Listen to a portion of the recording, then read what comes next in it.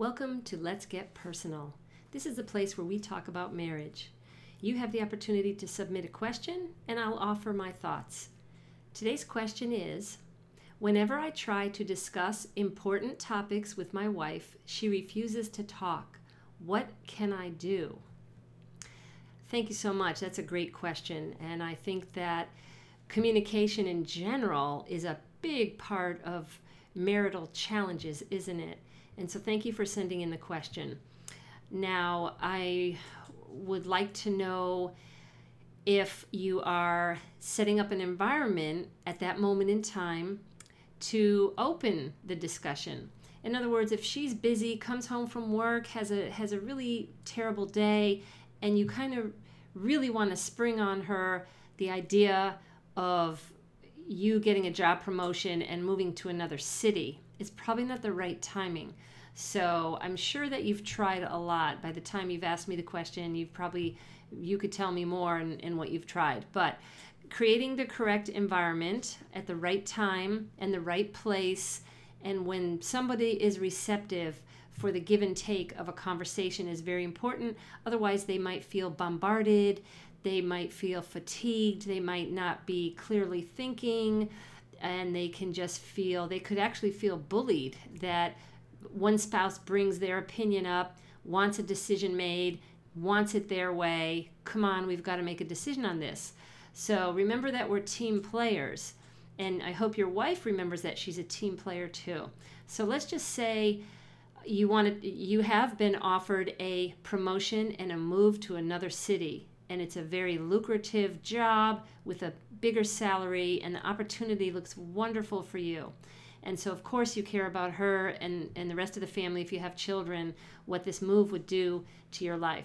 So, let's just say um, you want to talk about this. So, you would say something like maybe, Oh, hi, honey, I've got something really important I want to talk about. When you have 15 or 20 minutes, can you let me know and we can sit down and discuss it?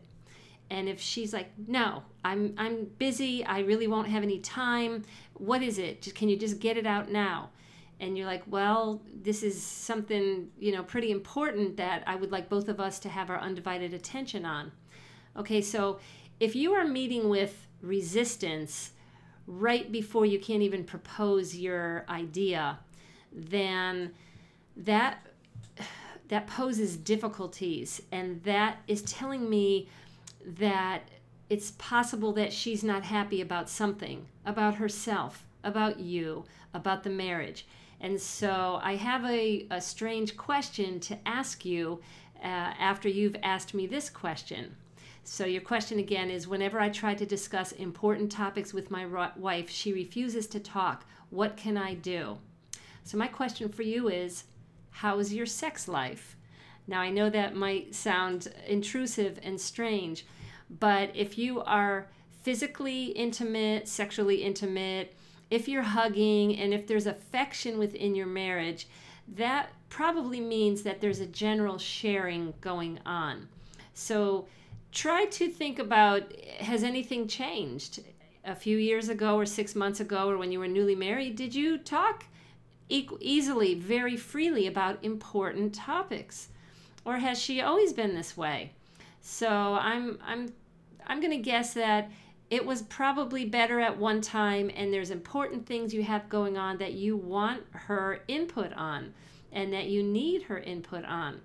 So the other question I want to ask is how is your friendship? How is your affection between the two of you? There are things you can do to work on your friendship. One of the best things my husband and I started many years ago was walking together around the neighborhood so three or four times a week we 45 minutes 45 minutes seems to be a, a, good amount of time to you leave your chores in your house behind any phone calls coming in no screens yes we do take our cell phones yes we're we only get distracted by a second or two. We want to have them with us. We maybe we re- want to record how many miles we're walking. But for the most part it's one-on-one conversation uninterrupted not distracted really makes you feel very calm when you're walking. There's it's just really uh, so I would recommend that you build your friendship, you build spending time together where you could open up the doors for just general communication, even the basic tasks, little things of life. How are the kids doing? I have to do this Saturday. We have this going on. If you can talk about the little things freely and and you both respect each other, then then maybe the bigger things will come easy. So you've got to create an environment, work on your friendship, and how is your fun meter in your relationship? On a scale of 1 to 10, 10 being you laugh a lot together, 1 being you can't even remember the last time you shared a laugh together, maybe even not even at a movie or, or something. So if you try if you can try to put some more fun and friendship and and create an environment. So now again, what if she is not receptive? Well, I have to tell you, this can cause divorce. This can lead to an estrangement. Uh, you know, uh, trying to appeal. I wish I could. I wish I could talk to both members of the couple and say, "Hey, are you a team? Do you love each other? Do you accept each other's influence?" That now I need to ask you another question. You want to talk about important issues. Do you have a domineering personality? Do you accept her input and her influence or is it possible that you have your opinion and you just kind of want to tell her? So there's many little things that you can do.